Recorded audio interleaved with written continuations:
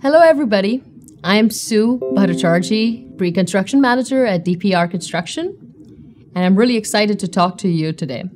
I'll be talking about a topic that's really close to our hearts. It's the pandemic and how it impacts us in the pre construction realm.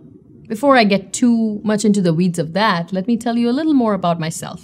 Born and raised in India, I came here to do my master's in Texas A&M. Once I was done with that, I came over to the Bay Area here in the US because of my love for the ocean.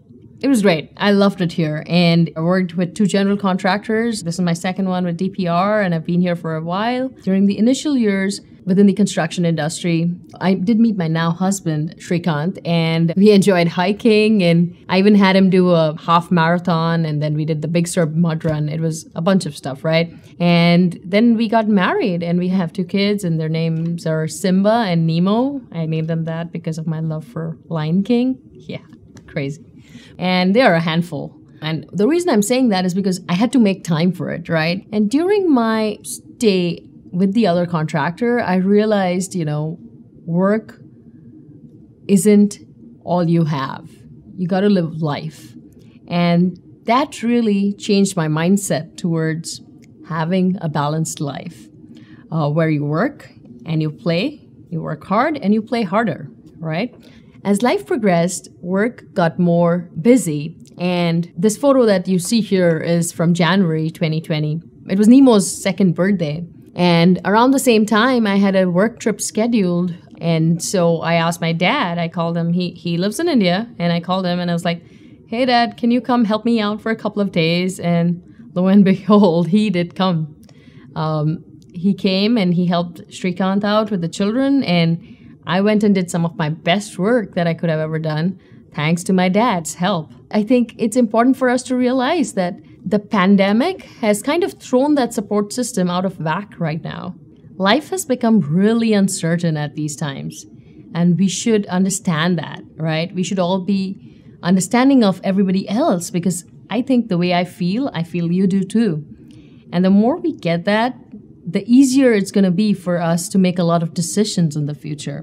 What is it that you miss the most during the pandemic? Is it that glass of wine with your girlfriends? I'm sure we miss it all, especially with our friends, our coworkers. My favorite part would be Friday happy hours at work. So we definitely miss that social connection. And the third thing is just working from home in general. Having to work from home presents unusual challenges that we have never faced before in our lives. And just coping that, with that is something that we all have to do, not alone, but together. As a community, as a society, and give each other that, you know, chance, the chance to succeed and to say it's okay, you know, if that kid pops up during one of your phone calls, that's okay. It's not the end of the world, right? One of the main key items for coping is just having more patience. Patience with your kids, patience with your husband, patience with your coworkers.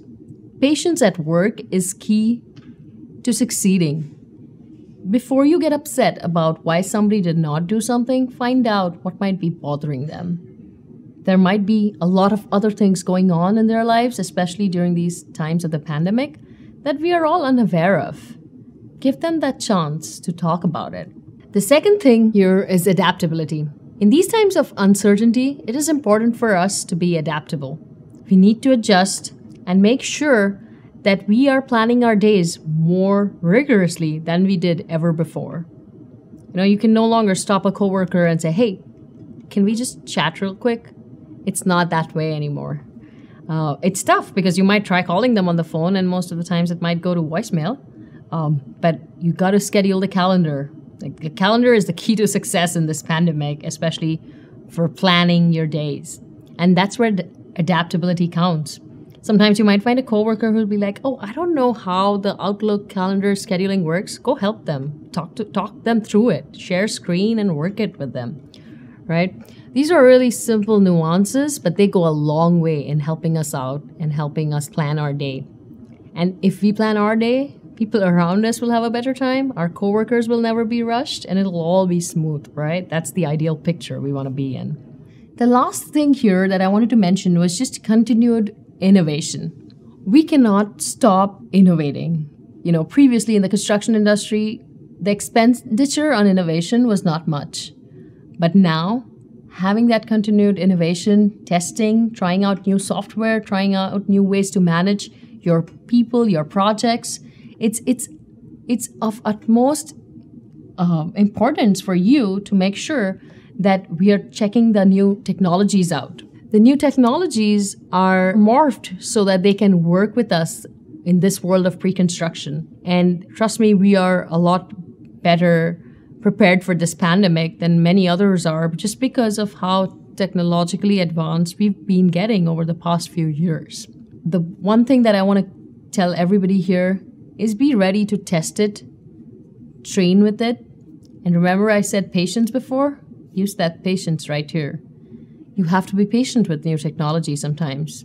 Pre construction itself is planning the project. We need to think a little more about how to plan projects given the COVID impacts on job sites. How does a project function if a person is identified with COVID? How does an existing project in a hospital or one of the other critical facilities function if somebody gets COVID in one of those job sites? And you know, you are working in an existing facility that's supposed to be running. It's about the what if scenarios and planning that work. No matter where you are, whether it's in the US, in the UK, in Australia, you have to plan for what happens during the pandemic. And it might be throwing in some money in there in your budgets or putting more time in there for your schedules, but this needs to be discussed at all levels of every project. The second thing is just the market and labor conditions. There's a lot of fluctuations. Sometimes you might hear about scarcity of some materials, or sometimes there's just a delay, right? You need to do the research adequately before you jump into the plan for your project. The market conditions also change weekly sometimes, or daily for that matter.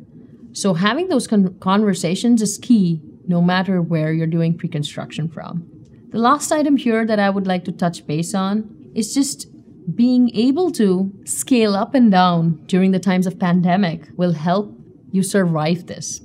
You know, the market is going to recover eventually, but you need to plan for that. You need to persevere and not give up. And no matter where you are, it's going to come back. And you have to stay strong for that. I would like you to go back with these three key takeaways. The first one being innovate. Innovate yourself and encourage those around you to innovate. It is important that we, as people who have been in the industry for a while, encourage others around us to do the same.